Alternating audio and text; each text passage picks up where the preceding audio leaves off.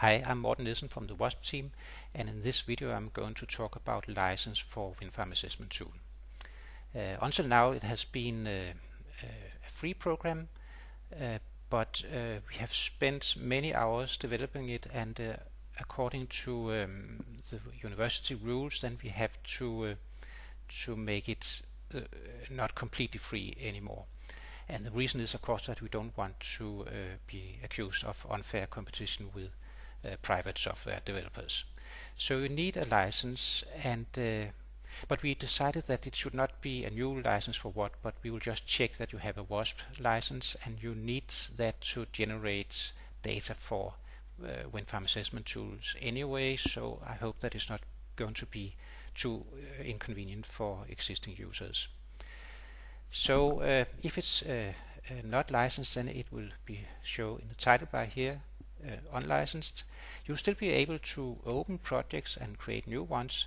It's just that we uh, kind of hide the results. Like if you have the production data, then you can see that you can no longer read them, so it's not so useful anymore.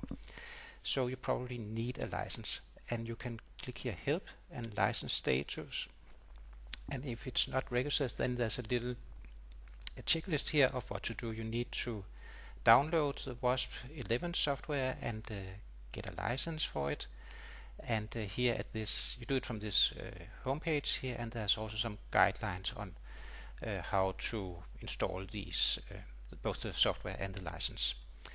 And um, then you also you need to go to uh, to WAsP and uh, make the license register it here and you do it here under help and then this menu licensing uh, pops up and then you go register and then uh, you click on this uh, um, key file here with uh, with your personal license and uh, you also need to be on the internet and then there's a database which checks that you have the that you have only installed it on one computer.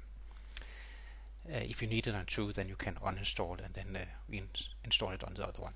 But anyway, now it should be ready here, and uh, then uh, the next step is uh, then you should you should restart Windfarm Assessment Tool, and then everything should work as normal.